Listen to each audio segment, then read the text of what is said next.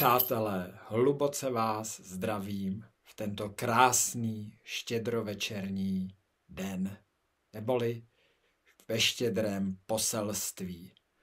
A hluboce děkuji cestám k sobě za to, že jsem mohl pro vás toto krásné poselství natočit.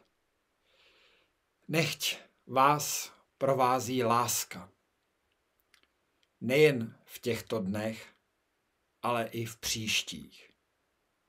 Já bych chtěl tady dnes říci takové tři rozkvétající cesty právě v tento den. Neboť projel jsem kus světa a setkal jsem se s mnoha lidmi, s různými dušemi, které právě oblékají to kouzlo toho těla a všichni jdeme prožívat ten důležitý příběh. Ten příběh těla a života. A já bych tady vyzdvihnul velice důležitou jednu rozkvétající cestu a tím je naprostá tolerance. Totiž samotný Buddha nebyl buddhistou, Ježíš nebyl křesťanem a třeba Mohamed nekráčel ještě vůbec v islámu. Tím myslím, že to byli skvělí učitelé, kteří kráčeli v mnoha cestách a předávali nám skutečné poselství, tedy cesty, které jsou v každém z nás vlastně zakotvené. A proto je důležitá tolerance napříč národy, náboženstvími. Skutečně nacházet toleranci. Protože, jak jsem říkal, projel jsem kus světa a těch množství náboženstvích a různých dalších odnoží je opravdu mnoho. Důležité je, aby v nich kráčela láska. Aby skutečně se v nich nacházela láska. Aby to nebyla jenom technická záležitost, aby to nebylo jen učení. Protože skutečně láska není žádná technikálie. Láska je hořící, nádherná cesta, která kvete a která skutečně z člověka dělá výjimečnou bytost pojďme ale nejenom nacházet toleranci v rámci národů, v rámci náboženství, ale skutečně tolerance mezi běžnými lidskými životy. Ať je kdo jakýkoliv, nacházejme toleranci. Protože skutečně se nacházíme v hlubokém věku a ve věku, kdy skutečně přecházíme do zcela jiných energetických polí. A pro mnoho lidí se zdá, že se to natolik mění, že ten svět a, různé další věci jsou prostě zcela jiné, než byly. Ale ano, ono tomu tak je, protože v mnoha věcech se skutečně vyvíjíme, protože jsme duše, které jsou vlastně v evoluci. A samozřejmě tím se mění i různé nastavení a kmitočty. Nacházejme tedy, prosím, toleranci jeden v druhém. Nesuďme prostě jeden druhého, ale buďme střícní, protože každý je tou nádhernou vločkou, které padají tady za mnou. A přesto každá ta vločka je originální. Zdá se, ve své podstatě stejná, ale v každé té nianci může být zcela jiná. A důležitý je, aby jsme nacházeli jednotu. Tak jak padá ta vločka, každá zvlášť, tak přesto vytváří nám nádherný bílý sníh. A je to ta jednota. Přestože každá ta vločka ve své podstatě padá jaksi jednotlivě, tak přesto se vlastně spojuje v naprostou jednotu. a vychází ve své podstatě z jednoty. A to je to, aby jsme skutečně nacházeli jednotu v tom společenství, v lidském společenství, protože jenom tak se skutečně můžeme přesunout do hlubokých stavů lásky, do hlubokých stavů nové reality. A věřte, že ať vypadá tento svět jakkoliv, protože poslední roky jsme si skutečně prožili uh, náročné období, tak přesto věřte, že když existujete jaksi v tom srdci, vy žijete vlastně naprosto už v jiné realitě, i když se vaše tělo zde takto nachází. A spíše jste tím generátorem, tím vědomím, které ve své podstatě je, ale je jaksi nezachytitelné tou hmotou.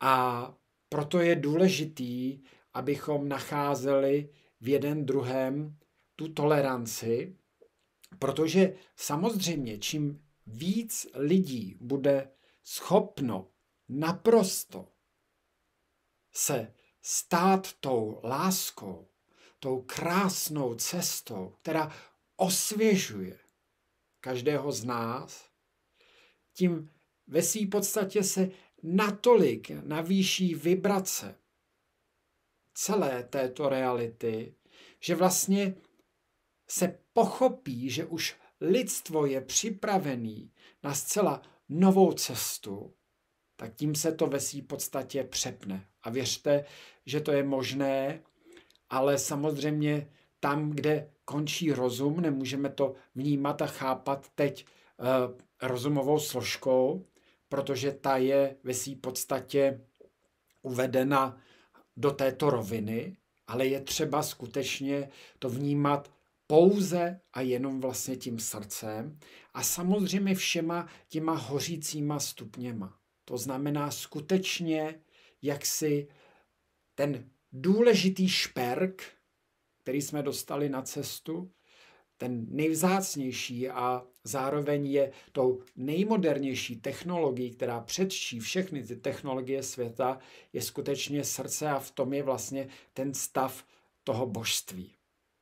Takže tolerance nám skutečně dává jistou, a neřekl bych jenom naději, ale skutečně cestu, která se může a zcela dřív nebo později se stejně tak stane, ale je důležité, aby se stalo aspoň co nejdříve, abychom už nemuseli kráčet ve zkušenostech utrpení, ale skutečně mohli kráčet v symbolu lásky.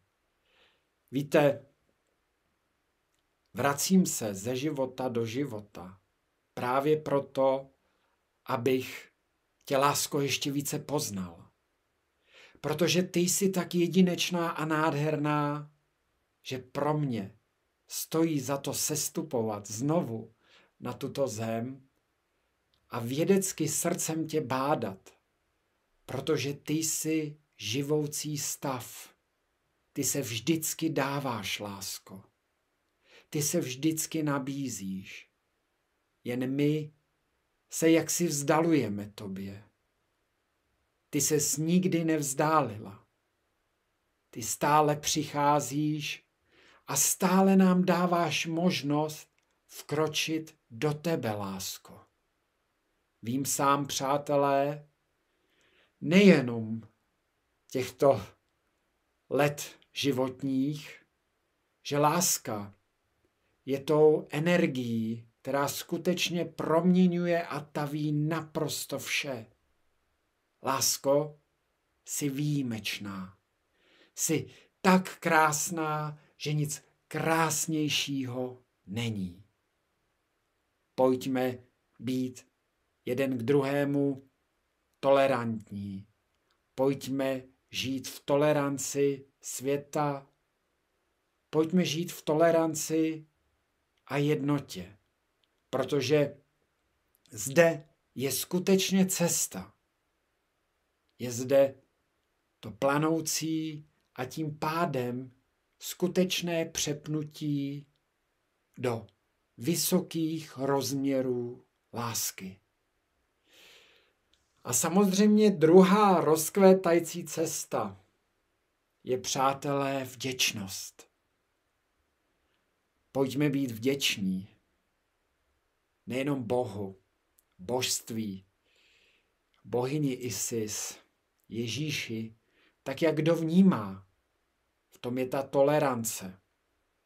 V tom je ta cesta. Neboť všechny cesty vedou k tomu velkému trůnu.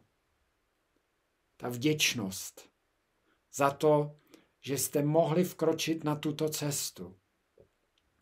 Že ji v hloubce můžete naplňovat. Že jste právě přišli proto, aby vaše cesta byla naplněna. Každého z nás. Tím myslím být vděčný za život, za ten čas. Víte, čas je skutečně výjimečný.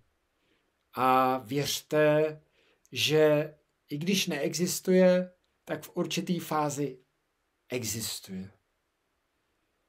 Pojďme skutečně vnímat, jak vzácný je.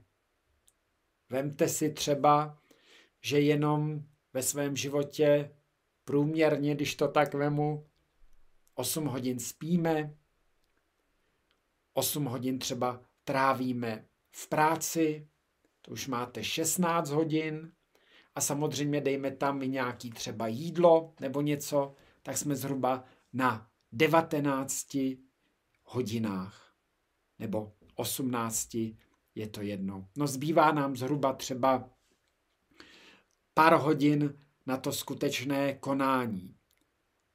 Chtěl bych ale zde říci, že skutečně čas je vzácný. Abychom dokázali nacházet tedy, pokud chodíme v tomto systému do práce, a samozřejmě je třeba říct, abychom aspoň dělali práci, která nás naplňuje a pokud ji eh, neděláme, tak určitě to změnili. Protože věřte, že jste právě přišli pro důležitý úkol. Každý z vás, každý z nás. A každý z nás má tady cestu. A umět si hrát s tou hmotou. A samozřejmě, čím více vibrujeme v srdci, čím více se nacházíme v DNA toho božství, tím více dokážeme proměňovat tu realitu. Skutečně, ano. Srdce je tou nejvýjimečtější, nejvýjimečtější cestou. Je tak výjimečná, že nic hlubšího a krásnějšího není. Je to tak krásná cesta, která skutečně má tu hlubokou vibraci. Je výjimečná. Tím chci říct, abyste svůj čas polarizovali. To znamená, nacházeli mezi prací také odpočinek. Svůj rozvoj cesty. Vděčnost tomu času, tedy správně s ním nakládat. Pokud nás něco sužuje a jsme vyprahlí, tak stoupit do oázy. Skutečně máme výjimečné možnosti tvořit. Samozřejmě, čím vyšší vibrace našeho srdce, slevané s duší a duchem je, tím měkčí je jaksi hmota tím ona se naprosto uvolňuje a vy s ní ve své podstatě dokonale tvoříte. Ale tím chci říct, že skutečně používat svůj čas. Říct si, co mě v tom životě naplňuje. Co ne. A samozřejmě skutečně i nacházet čas, aby ten čas byl kvalitně prožíván. Nenechat se jen vtáhnout ve své podstatě do toho metrixu, ale skutečně být to věno, vědomou bytostí, která naprosto toto má zmáklé a skutečně dokáže se svým časem a životem hospodařit a skutečně ho naplňovat. V tom je vděčnost. Vděčnost za ten život, za ten čas. Dobře s ním nakládat. Dobře ho žít. A jak si nepromarňovat nic. Protože nepřemýšlejte ani nad tím, nebo co bylo v minulosti. Protože tím ztrácíte tu vzácnou vteřinu přítomnosti. To, co je dávno za vámi, a samozřejmě důležité je, aby vás to nesužovalo. Pokud vás něco sužuje, je třeba s tím pracovat. Aby vzniklo jenom čisté, krystalické bytí, které bude zářit a ve své podstatě bude otevírat a zjemňovat tu hmotu, že váš život bude hovořit a vonět láskou. Láska je skutečnou nadějí lidstva. Nejenom lidstva, ale každého z nás, protože v ní se nese skutečně výjimečná vibrace samotného nejvyššího trůnu. Skutečně, pojďme být vděční za cestu, čas a život. Věřte, že právě v tuto chvíli, v tento krásný, štědro večerní den, v tomto štědrém poselství se právě nabízí cesta tomu, abyste třeba měli teď právě ten čas na to, si říct, co chcete ve své cestě změnit a tak skutečně vykonali. Aby to nezůstalo jenom v myšlenkách, ale abyste to pustili do prostoru života. Aby byl život nasycen vaším proudem. Právě teď, pokud vnímáte, že chcete skutečně ve svém životě něco změnit, je ten nejlepší čas. A věřte, že jsem s vámi. Je to tak krásné. A cesta života je tak krásné. Cesta duše, cesta ducha. Víte, ten život té bytosti, která přišla obléci to tělo, je výjimečným darem, kdy dostáváme možnost skutečně vše pochopit o své cestě a tady i vnímat, že máme velice velkou svobodnou cestu. Nebraňte se, měňte svou cestu, neboť v tom je vlastně vděčnost. A pojďme stoupit do takové třetí rozkvétající cesty v tento štědrý den. A nebude to nic jiného, než krásné a hluboké odpuštění. Víte, je to opravdu důležitá cesta. I kdyby dávno, v dávných časech, se na nás nikdo provinoval. A my jsme se potkávali třeba v budoucnu dál s těmito lidmi. Nacházejme v tomto odpuštění, protože v tom je boží láska. Toto odpuštění se ale týká v rámci národů, v rámci celých zemí, různých válek. Totiž cesta není ve válce a válce. Cesta není vezbrojením a dalším zbrojením. Cesta je skutečně v odpuštění lidstva a samozřejmě začíná v každém z nás. Protože jestliže máme nenávist a zlo k druhému člověku, tím vlastně zlo neustále krmíme. A samozřejmě více je takovýchto jedinců, kteří nedokážou toto odpuštění naplnit a tím tady vzniká jakási neustálá volající se linka zla. A v tom je naděje zase v každém z nás, že když dokážeme vlastně odpouštět, tím se jaksi bude přerušovat toto spojení, tato telefonní linka ze zlem. A jak si to zlojí už nebude moc ve své podstatě zvedat a my se k němu nebudeme furt dovolávat, protože my budeme hořet v odpuštění. A totiž eh, v rámci mnoha historických věcí je vlastně neodpuštěno.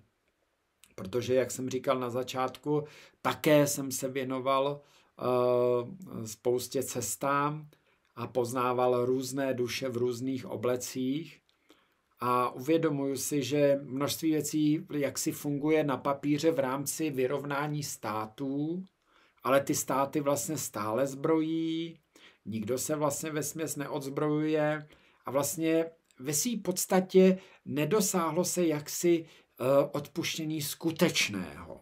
To znamená, je to jakási formalita, technikálie, která existuje ve své podstatě na papíře a samozřejmě kdykoliv je zrušitelná, protože tam maximálně se poruší nějaké věci.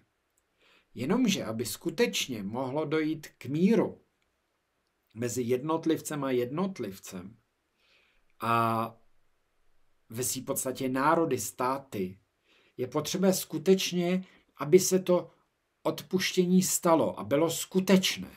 Jak si, aby tam nebyla ani jedna jediná niť ve své podstatě k tomu zlu. To je zásadní. Odpuštění je ve své podstatě lék. Lék na lidské cesty. Je to totiž léky pro samotnou duši, která se trýzní ve své podstatě tím, že nedokáže odpustit. A proč? Protože neustále zaměstnává svůj život, svou mysl nenávistí. Víte, neříkám zde, že život je vždy jednoduchý. Děláme chyby. Chybovat je lidské a bože, odpouštět v tobě je vlastně božské. Víte, abychom mohli spolu kráčet dál, bez toho odpuštění to prostě nepůjde. Někdo se proviní víc, někdo třeba míň a někdo třeba vůbec.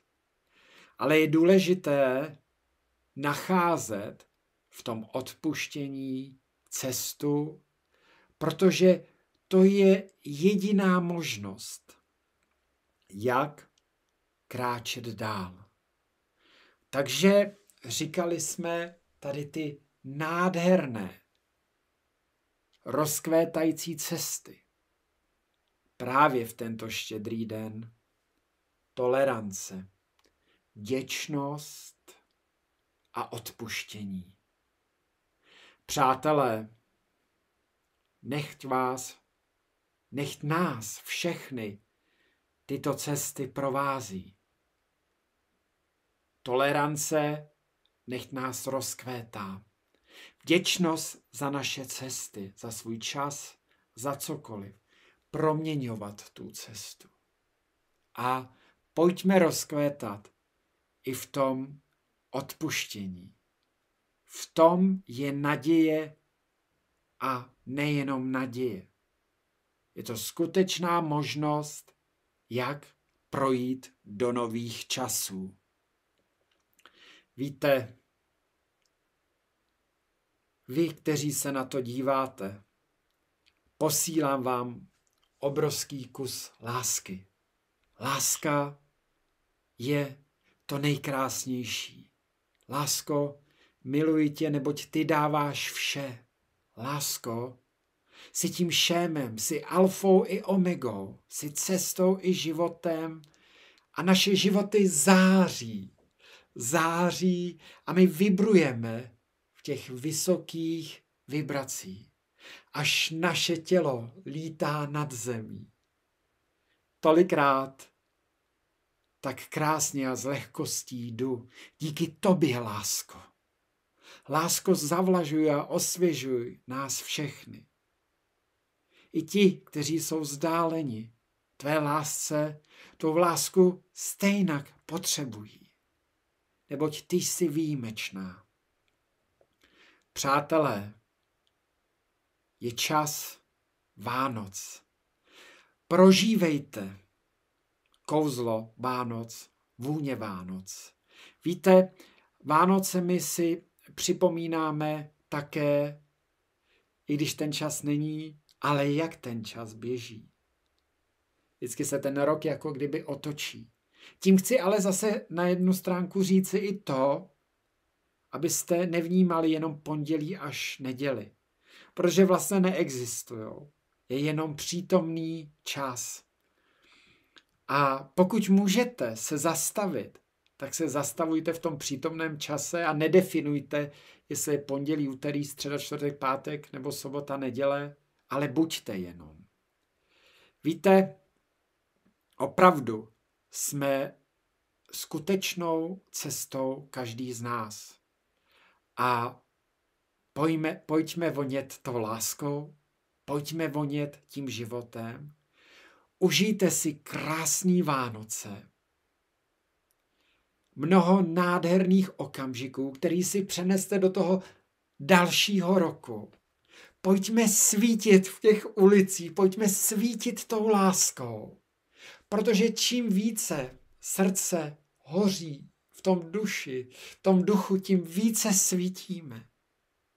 A tím, jak svítíme, rozáříme celou naší planetu. Věřte, že to je možné. A víte, začíná věk, skutečně velice důležitý věk. Totiž jsme zvyklí, že vidíme. Ale začíná věk vidění srdce. Ono se to propisuje. Začíná věk žití srdce a lásky, tedy skutečná realita a otevření se srdce slité s duší a duchem ve všech těchto faktorech. A tím ve své podstatě se stane to propojení celé té cesty, nás všech. Přátelé, milujme se a dokažme, že dokážeme být tolerantní, že dokážeme být vděční a že dokážeme odpouštět a že jsme přišli právě proto, abychom dokázali naprosto přesunout skutečně se do další fáze našich životů. Že jsme více tou světelnou bytostí, že jsme více tím srdcem. Nevytvářejme jeden k druhému, nebo jeden vůči druhému dlouhé vzdálenosti od srdce, a když ucítíme, že se vzdalujeme, tak nastartujte ještě víc ten motor toho srdce a přibližte se, abychom se moc nevzdalovali. Bože, miluji tě. Miluji tě, lásko. Je to krásný čas. Hoří nádhernou cestou. Láska je skutečná. Přátelé, Mějte se krásně, užívejte života, prožijte co nejkrásnější vstup do nového roku. A tam, kde něco začíná, nic nekončí. A nezapomeňte na jednu důležitou věc, že i když se zdá, že jste slabí, věřte, že dostáváte stále Boží milost. A tam, kde my končíme, začíná Bůh, božství, bohyně Isis, Ježíš, kdokoliv a jakýkoliv mistr. Neboť tam, kde my končíme, může začínat to božství. V hluboké úctě, v hluboké lásce a v hluboké cestě k nám všem, s láskou a nekonečností, žijeme tak. S vděčností, tolerancí, odpuštěním a živoucím srdcem. Děkuji cestám k sobě za pozvání tento štědrý den. Štědré poselství. Mějte se krásně. Mám vás rád. Miluji vás a láska nech nám svítí na cesty. Ahoj.